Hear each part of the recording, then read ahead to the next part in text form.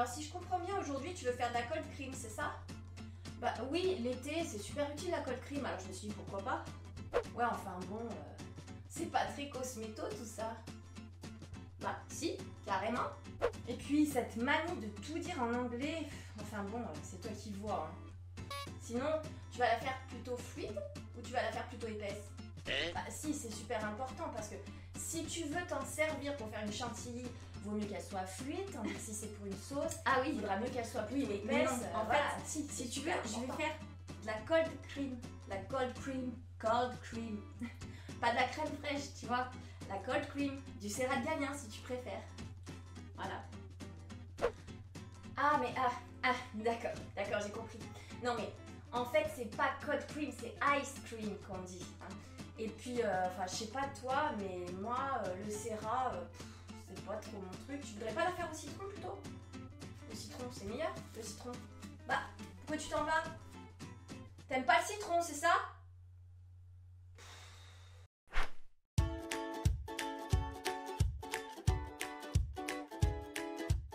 Bonjour à tous Alors aujourd'hui je vous propose de réaliser avec moi une recette mais qui devrait limite être remboursée par la sécurité sociale. Il s'agit d'une cold cream qu'on appelle aussi Serra de Galien. C'est une invention que l'on attribue à un personnage du deuxième siècle, et oui ça remonte un petit peu, qui s'appelle Galien et qui serait l'un des pères de la pharmacie. Cette crème est tout simplement magique parce qu'elle va calmer les irritations, elle va favoriser la cicatrisation de la peau et elle est donc tout indiquée dans le traitement des problèmes de peau tels que le zona, l'eczéma, le psoriasis, etc. Elle va calmer les démangeaisons et elle est également très adoucissante. Elle va donc nourrir et réparer, elle va protéger votre peau en cas de grand froid ou alors l'aider à se régénérer en cas de coup de soleil, ce qui est super super super intéressant en ces périodes de grand chaud et avec l'été qui approche. La recette de base, la recette ancestrale, contenait du blanc de baleine ainsi que du borax qui est un dérivé du bore. Le blanc de baleine est aujourd'hui interdit, heureusement, et le borax, quant à lui, est fortement controversé en raison de ses risques reprotoxiques avérés à forte dose. Alors nous, on va moderniser un petit peu la recette pour la rendre encore plus hydratante et encore plus cocooning. On va utiliser des ingrédients très doux comme l'huile végétale d'amande douce, l'aloe vera ou encore le beurre de karité. Alors, si ça vous dit, on commence la recette tout de suite alors la recette officielle du Serra de Galien, telle qu'elle a été établie en 2007, et dans laquelle bien sûr on enlève tout ce qui est blanc de baleine, se compose historiquement de cire d'abeille blanche, de borax, d'eau de rose et d'huile végétale d'amande douce. Nous, pour réaliser la recette, on va ici moderniser un petit peu la formule en lui ajoutant notamment du jus d'aloe vera. Le jus d'aloe vera est un excellent antioxydant pour lutter contre le vieillissement cellulaire. Il soulage efficacement toutes les affections de la peau, telles que l'acné, l'eczéma, le psoriasis, etc. Mais il est également très efficace pour traiter tout ce qui est brûlure et démangeaison. En bref, il va adoucir les peaux déshydratées, irritées ou sèches. On va garder de la cire d'abeille dans notre recette, mais on va l'utiliser brute, c'est-à-dire jaune. La cire d'abeille se distingue grâce à sa richesse en vitamine A. Elle va hydrater et protéger la peau des agressions. Elle est également connue pour ses propriétés anti-inflammatoires, pour apaiser et pour faciliter la cicatrisation. Riche en vitamine A, elle va également retenir l'eau de la peau et former un film qui va la protéger efficacement du froid, du vent et du soleil. Pour encore plus de douceur, on va ajouter à notre formule du beurre de karité. Je ne vous présente plus le beurre de karité qui est extrêmement reconnu pour ses propriétés réparatrices. Il va assouplir la peau et l'hydrater en profondeur. Il la protège également contre les méfaits du soleil et son action anti-inflammatoire va apaiser et calmer les irritations. Il permet également de prolonger le bronzage, ça c'est super cet été. Et c'est un régénérant cutané très efficace qui va revitaliser tous les tissus et leur redonner élasticité. Il est donc idéal pour les peaux irritées et agressées. Dans notre recette, on va garder l'huile végétale d'amande douce pour sa douceur et sa haute tolérance pour toutes les peaux. L'huile végétale d'amande douce est apaisante, elle soulage les irritations et les démangeaisons. Nourrissante, elle est parfaite en cas de gerçure ou de peau desséchée. Elle va donc hydrater, protéger, activer la réparation de la peau. Elle est idéale pour les peaux fragiles et délicates et tout indiqué pour traiter brûlures, gerçures, peau sèche et très sèche. Pour un soin optimisé et pour une odeur à tomber par terre, on va également utiliser des huiles essentielles florales.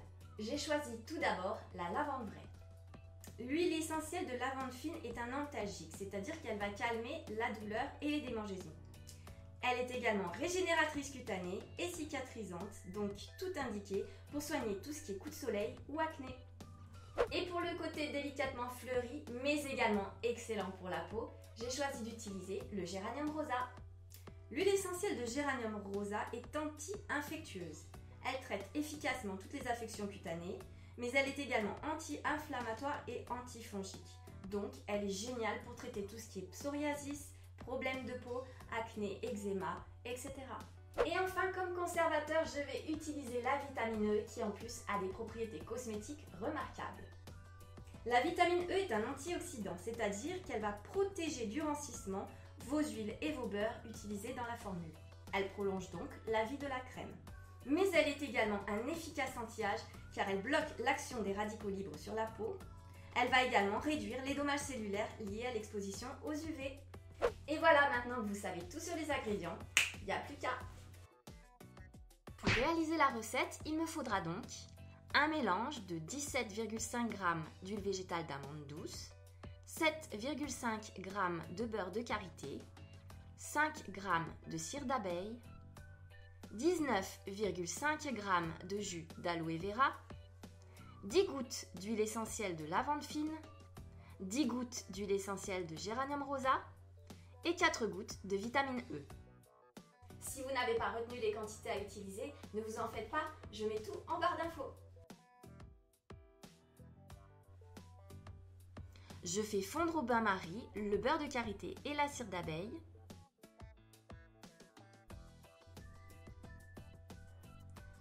La cire d'abeille peut être un petit peu longue à fondre, il faudra bien patienter une bonne dizaine de minutes. Et je réserve. Je fais alors tiédir le jus d'aloe vera. Le but, c'est que les deux phases aqueuses et huileuses soient à peu près à la même température, c'est-à-dire aux alentours des 65-70 degrés.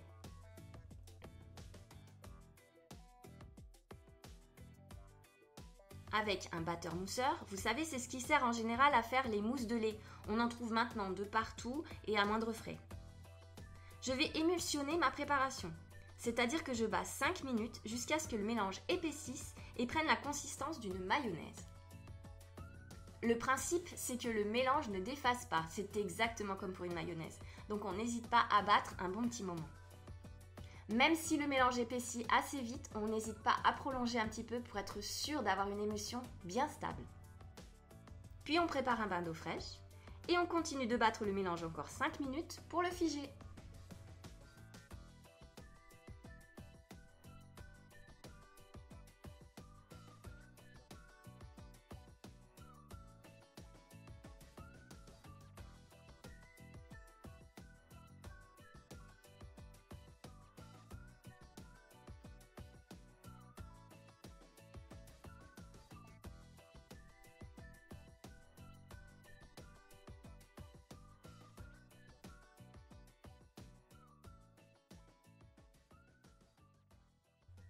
On rajoute alors les 10 gouttes d'huile essentielle de lavande, les 10 gouttes d'huile essentielle de géranium rosa,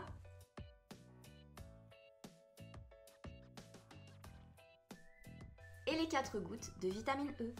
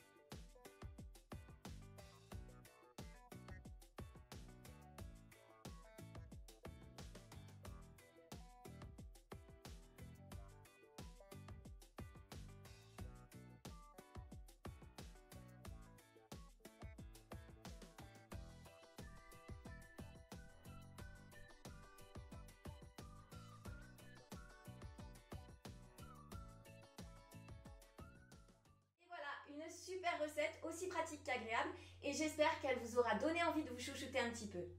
En plus de faire vraiment, vraiment beaucoup de bien à votre peau, cette recette est super agréable à utiliser parce qu'elle va laisser votre peau toute douce et délicatement parfumée. Et voilà, maintenant, vous n'avez plus de raison de garder votre vieille peau de crocodile et cet été sur la plage, ça sera peau de pêche assurée. Si la recette vous a plu, n'hésitez pas à me laisser des gros pouces bleus et à me faire plein de commentaires auxquels je répondrai avec grand plaisir et qui nous permettront de communiquer un petit peu et de faire plus ample connaissance. Je vous fais plein de gros bisous et je vous dis à bientôt pour une prochaine recette. Ciao